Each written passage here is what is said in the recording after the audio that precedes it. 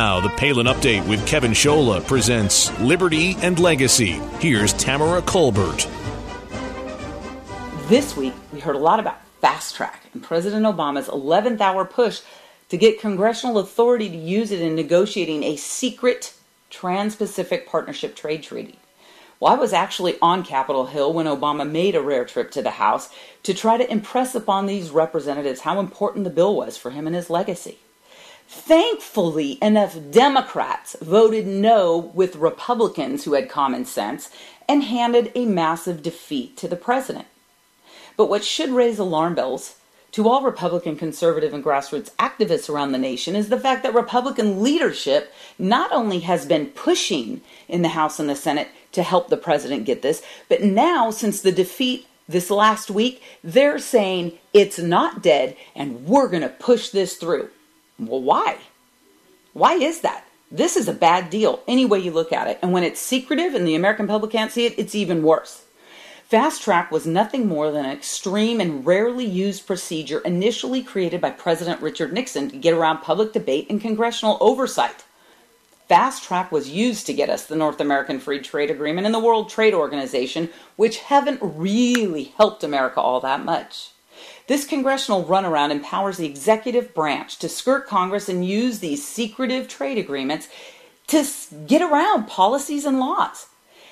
Who's part of Fast Track? Well, besides the administration, about 500 plus official corporate U.S. trade advisors. Who are those guys? I don't know who they are. Have you seen a list? I haven't. But these guys have access to everything. And these same people have been setting U.S. trade agenda under both Republican and Democrat presidents since Nixon.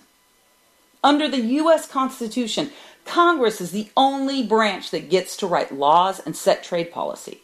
And for 200 years, these key checks and balances have helped ensure that no single branch of government has had too much power. I see it as nothing more than lazy.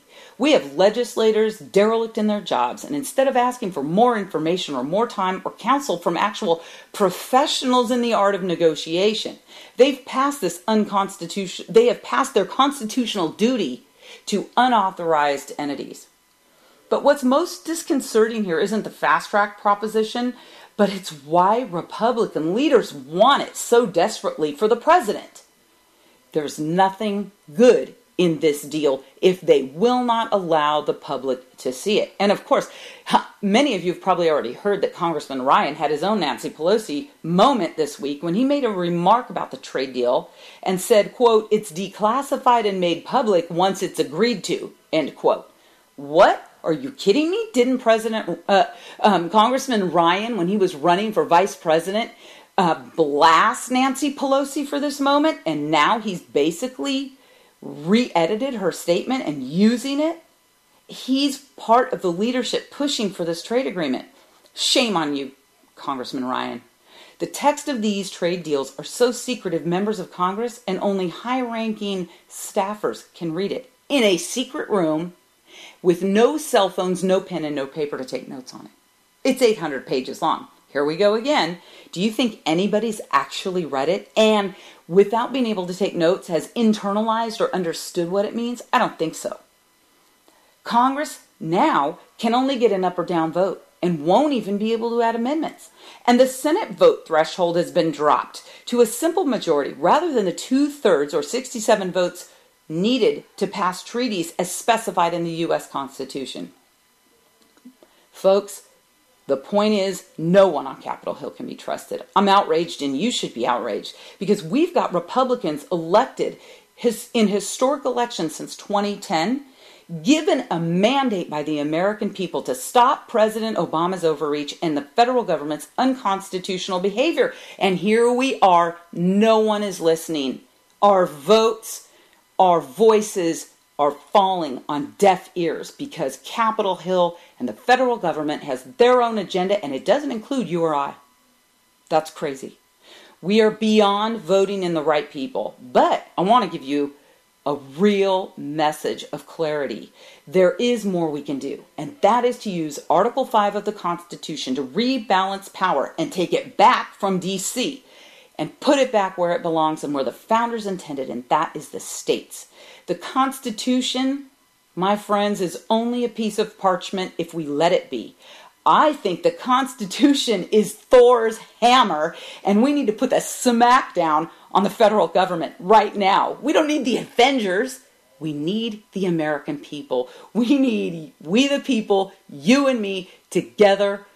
Let's use it. Let's use Thor's hammer that we have, which is the Constitution, to stop the federal government's abuse of power.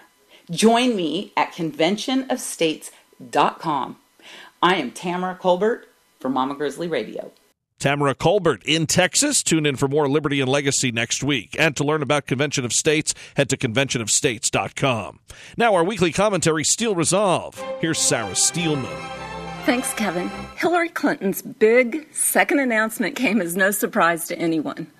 What was a refreshing surprise in her speech was the story about her mother that she recounted.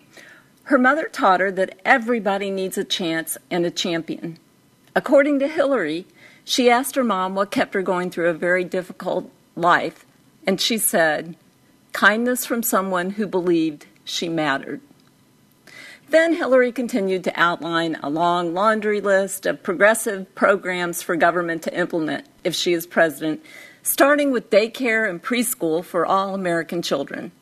Although she didn't give any specifics, my guess is that if she has her way, the federal government will, will require every public school in America to offer preschool. How else will she accomplish this goal? Will she require every child to start school at age three now?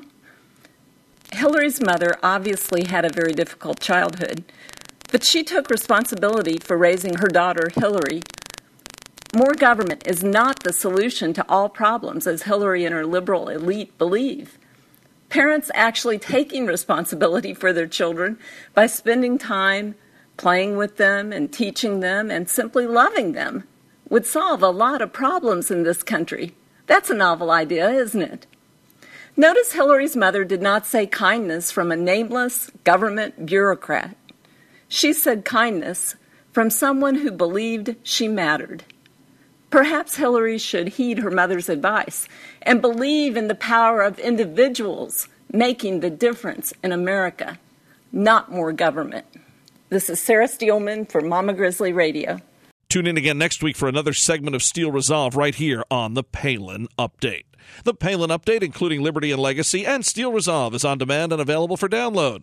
So just head to mamagrizzlyradio.com, pick the show you want to hear, and you can listen anywhere, anytime. That'll just about do it for this edition of the Palin Update on Mama Grizzly Radio. Be sure to visit mamagrizzlyradio.com for continuing coverage of Governor Palin. Also, like Mama Grizzly Radio on Facebook and follow along on Twitter at Mama Grizz Radio, at Kevin Scholla, at Tamara Colbert, at Sarah underscore Steelman, and at 3DSTS. And I'm doing some writing for Breitbart News. Go to Breitbart.com and search Kevin Scholla. I want to thank Sarah Steelman, Tamara Colbert, and everyone here at Mama Grizzly Radio. Thanks to Victoria Price, and thank you for listening today.